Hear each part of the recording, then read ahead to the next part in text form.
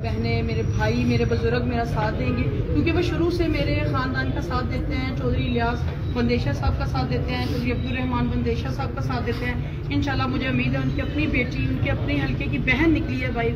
और यही मिशन है हमारा कि जो मेरी पार्टी का बहने, मेरे भाई, मेरे बुज़ुर्ग, मेरा साथ देंगे। क्योंकि वो शुरू से मेरे ख़ानदान का साथ देते हैं, चौधरी इलियास बंदेशा साहब का साथ देते हैं, चौधरी अब्दुलरहमान बंदेशा साहब का साथ देते हैं। इंशाल्लाह मुझे उम्मीद है उनकी अपनी बेटी, उनके अपने हल्के की बहन निकली है भाई।